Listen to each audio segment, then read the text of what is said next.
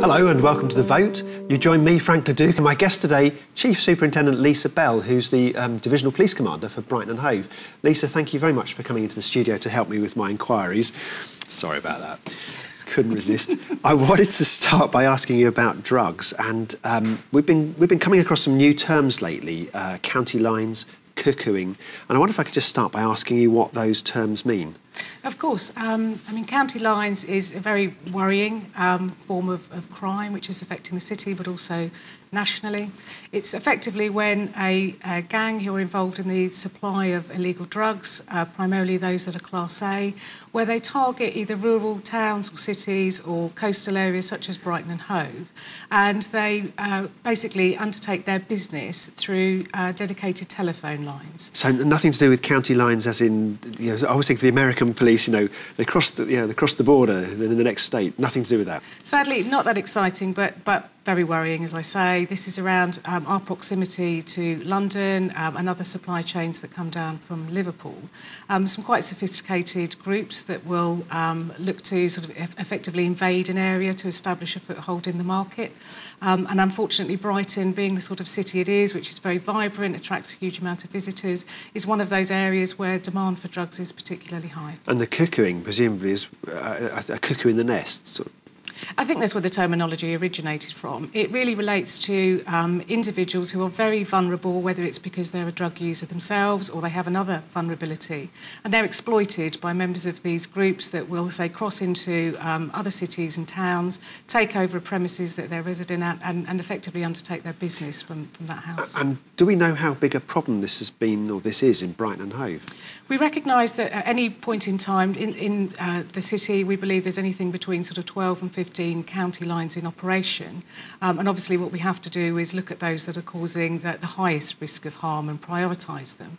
But the reality is these groups can adapt and move very quickly. The minute you disrupt one and, and you close that line down, others come in to take their they place. Sort of move into their territory. And, and it, as you said, it's not just a problem that affects Brighton and Hove. The sort of drugs they're uh, um, supplying, Class A means things like heroin, crack cocaine? Heroin and crack, predominantly. That's where we are most affected in the city. But that's not to say that they won't uh, supply other forms of drugs, but it is predominantly those that will cause the, the highest degree of harm. I have the pleasure of attending Her Majesty's courts locally sometimes, and, and I see things like the, um, what are often referred to colloquially as party drugs, sort of ecstasy um, and, and, things like that uh, as well, ketamine for, for, for the come downs. Uh, all seem to be part of the mix for some some of the supply chains that we're seeing. Again, when you look at the, the, the city in terms of the, the demand, that's, that's very broad-ranging. I think sometimes there's a view that this is just sort of hardened heroin addicts who are very entrenched in their yes. habits that are leading very chaotic lifestyle. Lifestyles. But as you, as you said, that actually the supply for drugs, the party drugs, those people that, that choose to use them for recreational purposes at a weekend, yeah. that, that also features. And, and, and again, we've still got plenty of cannabis use locally. I, I mean, I hesitate to say it's not hard to walk down some streets occasionally at some times of year and uh, not be able to tell. Um, and I'm sure that, that probably helps your, your officers identify where things are happening as well sometimes. Um, how, um, how easy is it for you to assess the sort of scale of what's happening uh, and, and how do you sort of then go about trying to work out how to prioritise, how to deal with it? Well, intelligence is absolutely key, as it is for so many areas of, of policing. So we're very reliant on understanding what the demand profile looks like for the city, and we continue to do work to understand what that does look like so we understand that the, the size and scale of the, the problem that we're trying to deal with. Um, but in terms of how we work, it's not just about policing the city. Actually, we work with regional, right up to the sort of national units that will have an interest in this area. So it's absolutely about understanding the local picture, but how those networks obviously scale up to, to the region and beyond. And so you're working with the National Crime Agency, but also I, I gather from a meeting that we were both at last week, I was sitting in the in the cheap seats watching. Um, this is also about working with things like the council uh, and, and, others to try to understand um, the effect of things like, like say, when when cuckoos um, take over a premises, how you deal with that. Sometimes the council might have better or more useful powers to, to, to deal with the problem in or certain aspects of a problem like like I mean I don't know who applies for the closure order is it, I don't know if that's yourself or the council but mm. premises are being closed for example where you've got cuckooing going on. Mm. I mean, I think the reality is enforcement through through effective policing is, is not the, the simple solution to this. And absolutely, again, like so many other areas of policing, we have to work in partnership and do so incredibly successfully in the city. Um, one of the things that's really important to us is our, our change of mindset around looking at some of the, the people who are being cuckooed, not just looking to prosecute them when they're involved in, in substance misuse or, or drug supply yeah. themselves, because often that's as a result of exploitation. So we need to look at them as victims. We need to put plans in place to protect them and, and stop the same thing happening over and over again. And that's where we enjoy fantastic relationships with all our partners, both from a, a safeguarding perspective to make sure people have routes out of this kind of criminality, but also in terms of protecting the neighbourhoods where this activity is taking place. I was going to say sometimes these things do seem to come to light when there's antisocial behaviour. I mean, uh, you know, I'm, I'm, thinking of May Road as an example, and, and it's not the only. You know, there have been more than 20 20 closure orders, I understand, but you know, mm. you had there a hammer attack, someone fired shots through a window. Other places there have been people taking knives, or even just plain fights happening between you know, people involved, sometimes allegedly on the same side. But and, and it's neighbours ringing in and complaining, particularly when there's persistent antisocial mm. behaviour, that have helped bring some of these places to light, I guess. Absolutely. Antisocial behaviour can be one indicator that you know, premises is being cuckooed or, or there's something more sinister going on in the background. Um, levels of violence associated with, with drug supply, that's something we monitor closely in the city. And in fact, recent figures sort of show that um, about 28% of the, the violence that we record in the city can be attributable to uh, those either involved in, in drug use or, or supply itself.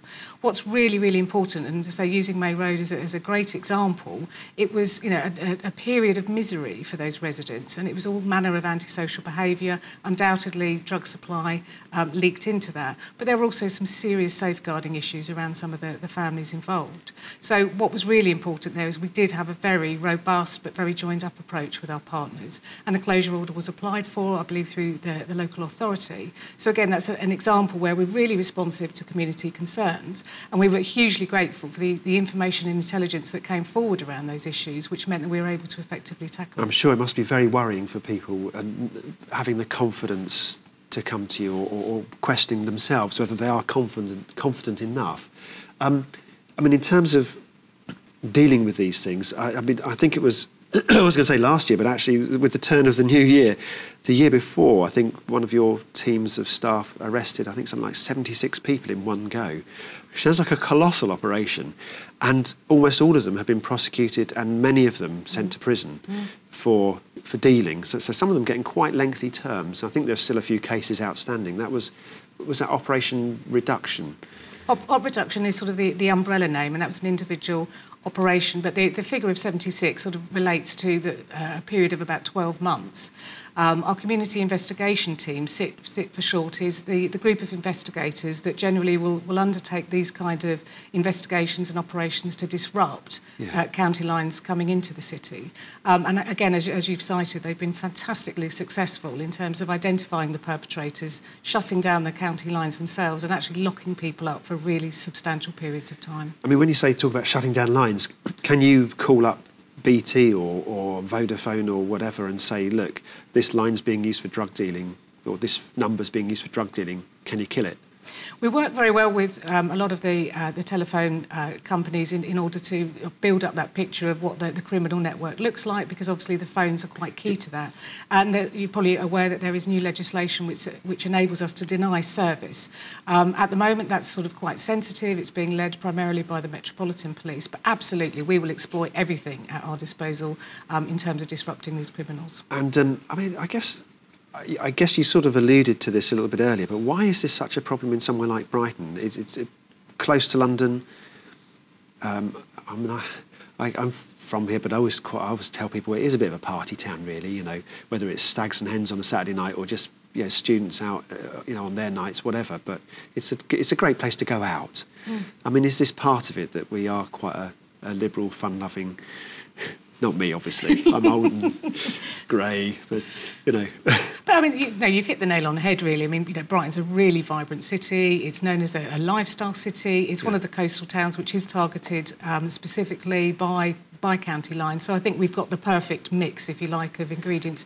I think there's also something around um, sort of levels of tolerance to drugs. You know, you've talked about cannabis. Actually, there, there are some quite liberal attitudes across the city around substance misuse. It's, I mean, I, wanted, I did want to ask you that actually, because there, there are people who will say we obviously are aware of where there's chaotic drug use and those problems, but there are plenty of people who would say, well, I, I take this or I take that and I need a perfectly normal, productive lifestyle I work.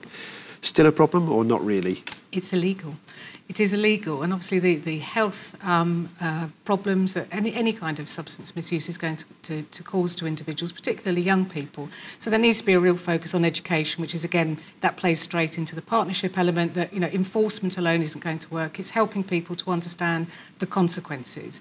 You know, drugs coming into the city harm individuals, they harm neighbourhoods, and they harm the, the profile and the reputation of the city as a whole. And presumably because it's coming through an illegal supply source, there's all the associated crime problems that go with it as well. Absolutely the exploitation. You know, we, we were talking again at the, the meeting that you referenced earlier around, you know, some quite young children offering to supply drugs on the streets of the city. I mean, uh, absolutely horrendous. And, and, and very worrying. Ab absolutely. and, and if you look at those people that consider you know, using substances as a recreational activity, there is a consequence for all of those people that are involved in the supply chain. I'm going to take a short break here for the ads.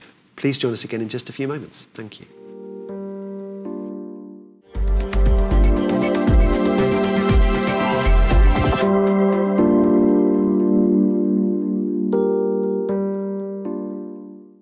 Hello and welcome back to The Vote with me, Frank le Duc, and my guest today, Chief Superintendent Lisa Bell, the Divisional Police Commander for Brighton and Hove.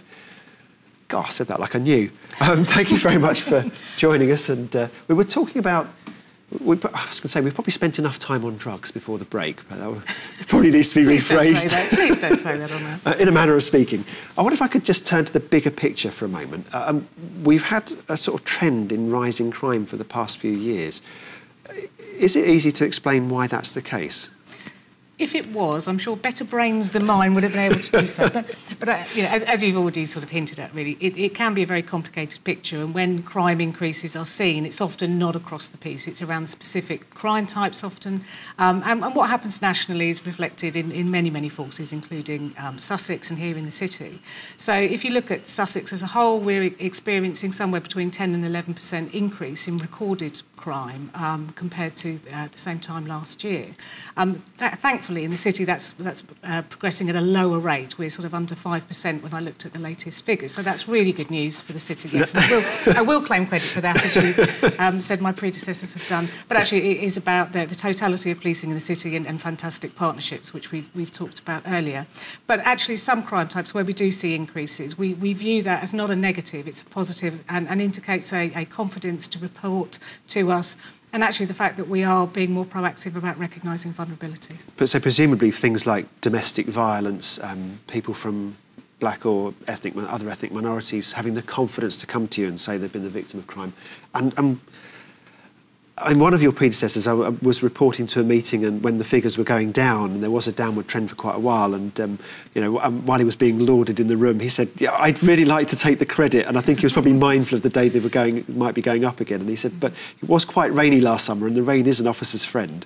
And, uh, Absolutely. I mean, there's lots of factors. I mean, lots of seasonal factors. You know, understandably, with the amount of visitors we have into the city, we do tend to see a, spike in crime related to, to alcohol or violence or robberies, um, and, and that again is, is mirrored across the country. So yeah, we, we're always praying for a little bit of rain, but I wouldn't be wishing a wet summer on the city. But presumably things like the big events as well, like yeah, and, and, I don't mean this to, in any way to disparage Pride, for example, or, or, football matches, but when you do get a lot of people together in one place, you've got the potential for problems, uh, and you know, and and again, problems if they're not policed well, but also problems if actually you've just got people who are intent on causing a problem.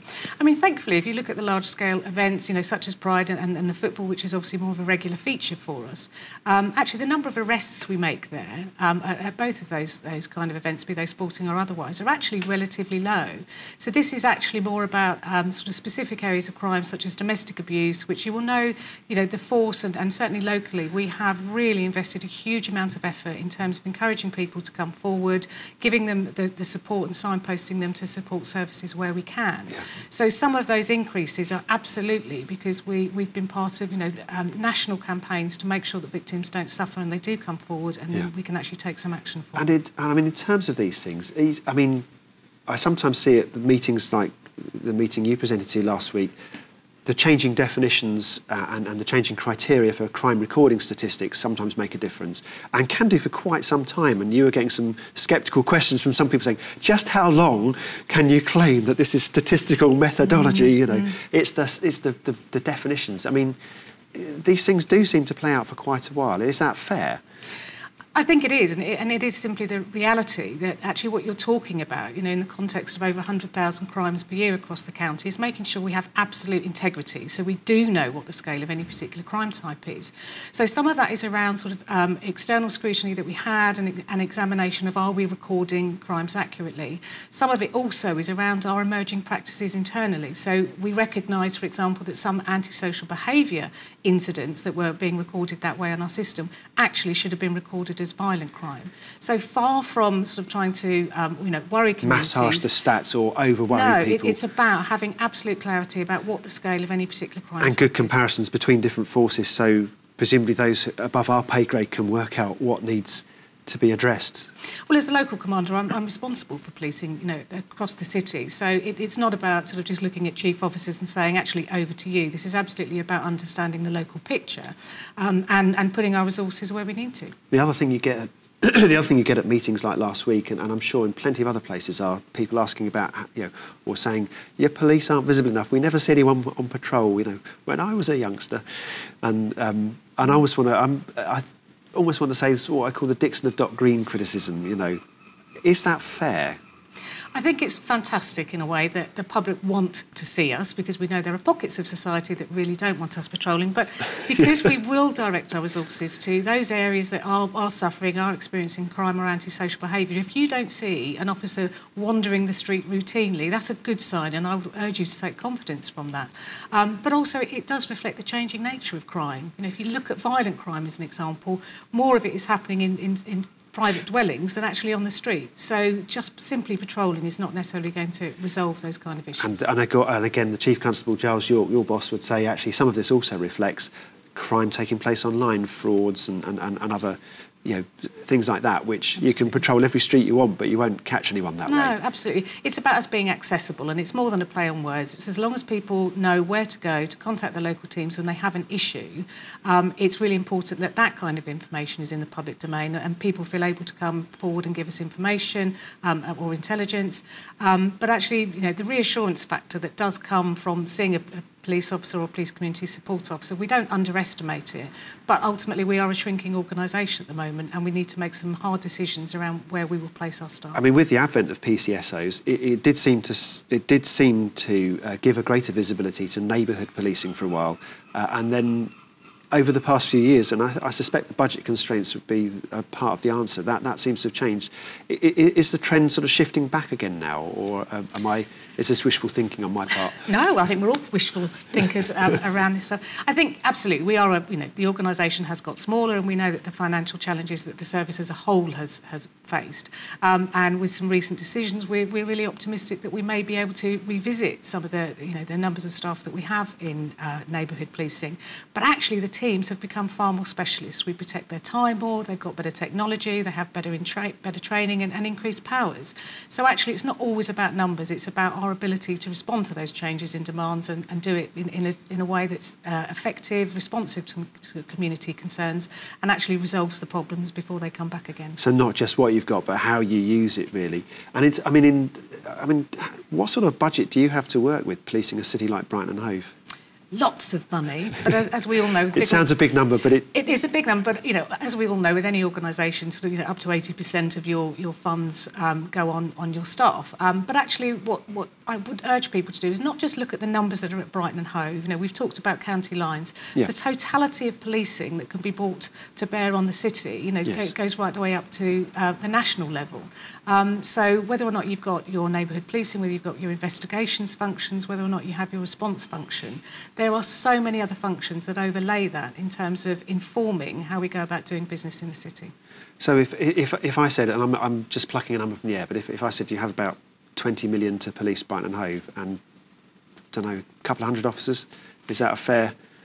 There's more than a couple of hundred officers working out of, of Brighton Police Station, and we've got um, bases obviously at Hove and uh, Crowhurst. You're looking sort of around the 450 officers and staff who will be delivering a service on a day-to-day basis for the but that's city. 24-7. That is 24/7, um, but actually that's that's a great thing. That's a huge number, but again, it's not to be looked at in isolation. Can. I be wrong? Do you get the chief super and, and you can sort of say, great, I don't have to do any more night shifts? No, I'd like to do night shifts. Sadly, my age has crept up on me. I just don't cope as well with them these days. But night shifts, I mean, I, I- as you know, I started my career in Brighton 26 years ago. Night shifts were my favourite, and if my stamina levels were higher, I'd do more. And um, I mean, I guess one of the other things, a, a very specific thing, yeah, somewhere like Brighton and Hove, we've seen a huge rise in cycling over the past five to ten years and, and more. And then lately, we've seen a bit of a spike in bike thefts. I mean, you were talking in the first half, we were looking at drugs about prioritising.